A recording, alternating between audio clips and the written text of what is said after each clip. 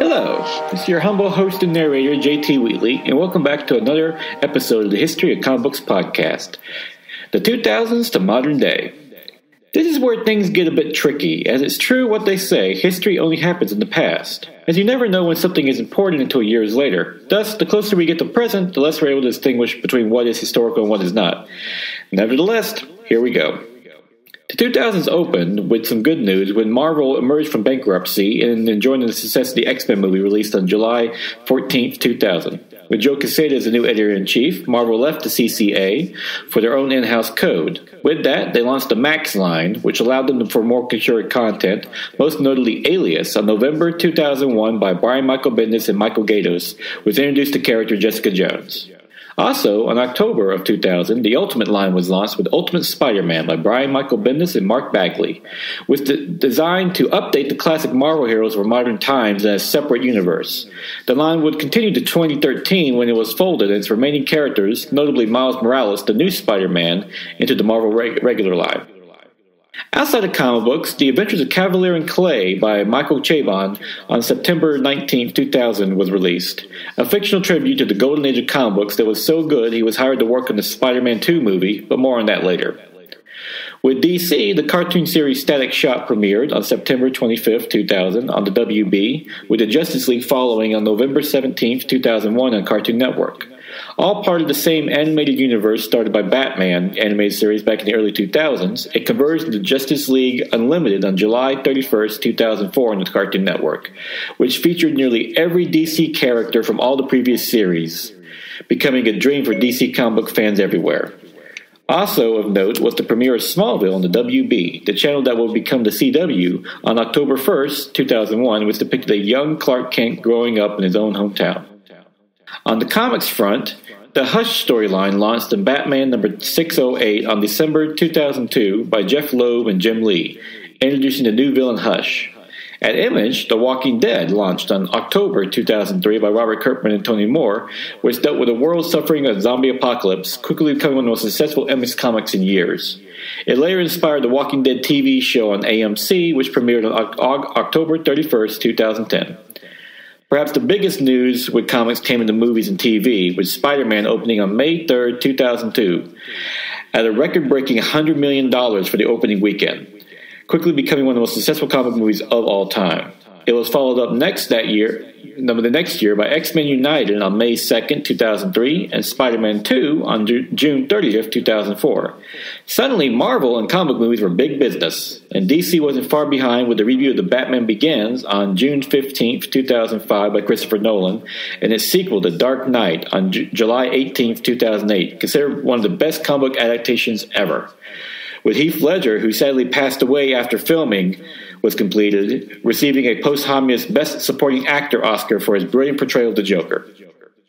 WBDC did try to reboot Superman as well with Superman Returns on June 28, 2006, but with middling results.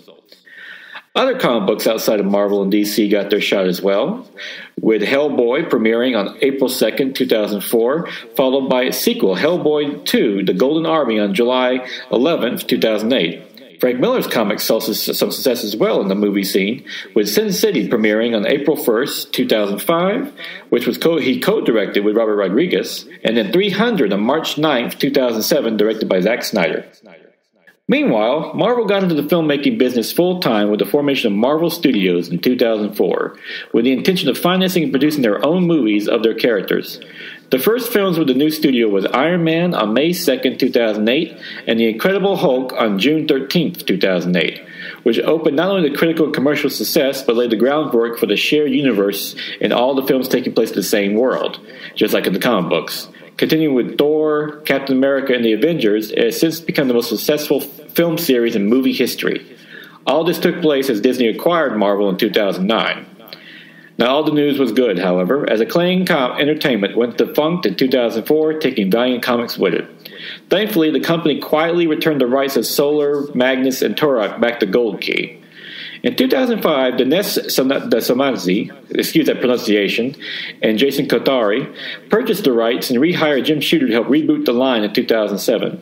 By May 2012, Valiant returned with brand new comics, absent the Gold Key characters, whose company was acquired by DreamWorks in 2012. Back on the comics front, digital started to gain ground, and Marvel launched Marvel Unlim- Digital Unlimited in 2007, which allows subscribers digital access to all of Marvel comics for a monthly fee, similar to Netflix with movies and TV.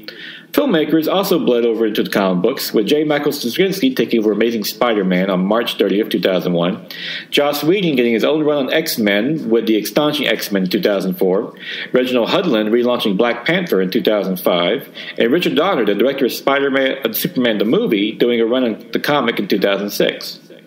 Of course, crossover events were still happening in comics, most notably Infinite Crisis by DC in 2005, which attempted once again to reboot the DC line, followed up by the weekly comic book 52, which covered a week and issue in one year of the DC Universe, ending in, ending up being one of the biggest success of comic books in recent years.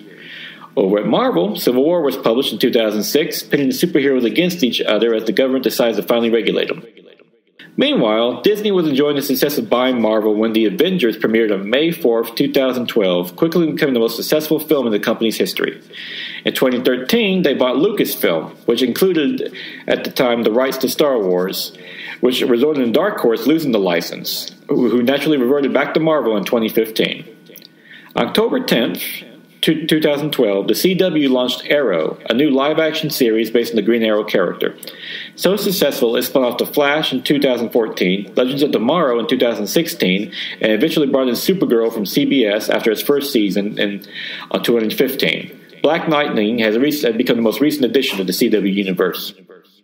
Back at comics, DC tried to reboot their line again. This is becoming a drinking game with the new 52 on June 1st, 2011, which relaunched every series from number one.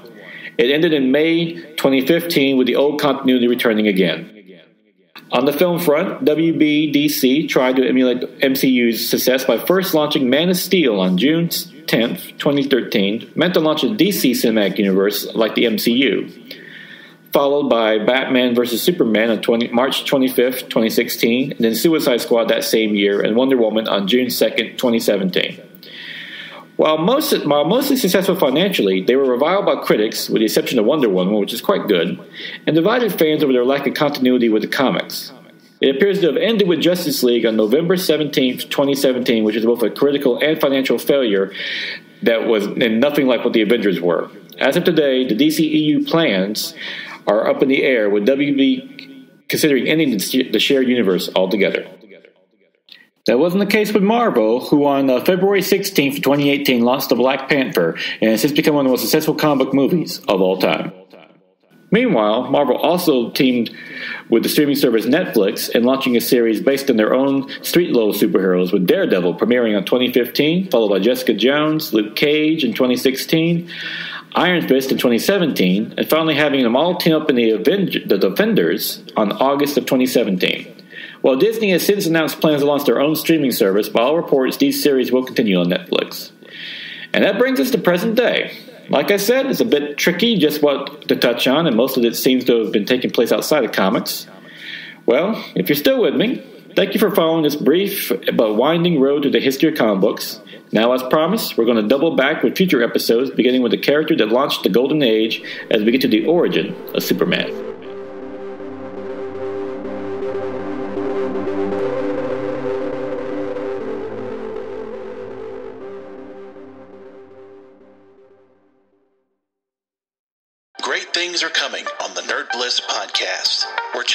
Changing up our presentation while keeping the candidness that you enjoy. We'll cover all your favorite shows and movies, with maybe a few surprises along the way. And you, yes, you, will have opportunities to be on our show on a regular basis. That's right, you've got the Zoom Pro account, and we're going to use it. So be ready. Find us at nerdblisspodcast.com and esonetwork.com, and on all the socials at NerdBlissPod. Nerd Bliss. Listen up. And now it is May 30th, 2024. Time for the favorite comic of the week. Ultimate Spider-Man number 5 by Jonathan Hickman and David Messina, which is actually a uh, flashback story that gives the origin of the Green Goblin Harry Osborn as it goes to showing how his uh, parents were killed and that he ended up taking over the company and eventually morphing into the Green Goblin. This is a great world building issue from Hickman that not only explores uh, Green Goblin's character, also introduces another classic uh, Spider Man character, and also emphasizes more of uh, Harry Osborn's wife, uh, Gwen Stacy, who's a bit darker in this universe than in the other universes. And it's a nice twist on the character, though it also feels very natural with uh, considering her past in the original 616. It's matched greatly by David Messina's art, which is not as dynamic as Mark Checchetto's uh, more action-packed uh, art as the regular artist, but it's perfect for his more personal story. And this works great all around. And this is great world building issues leading up to issue number six, which is going to be like the conclusion of this first story arc. Can't wait to see it, of course, with Checchetto returning. And uh, all in all, just this comic book in general is just a breath of fresh air, considering how messed up the uh, mainline Spider-Man books are, from Amazing Spider-Man to that awful jackpot Black Cat mess. Avoid those; not worth your money. Just stick with Ultimate Spider-Man for right now, until they finally right the ship, because this is everything Sp- uh, Spider-Man should be, and it's so great to just just a breath of fresh air. It's all all good. And uh, with that, we'll conclude with this uh, episode of the uh, archives. Join me next week for uh, now that we've done go revisit the old uh, mainline uh, history episodes. We're going to be probably bouncing around more in line with, with the, the, times and things, something like that. of course, next month is LGBTQ Pride Month. we we'll, might have something for that. We'll see. And uh, if not, uh, go out and enjoy some good comic book. And once again, check out Ultimate Spider-Man because if you're a Spider-Man fan, uh, it's great to have at least one good comic book that stands and represents the character.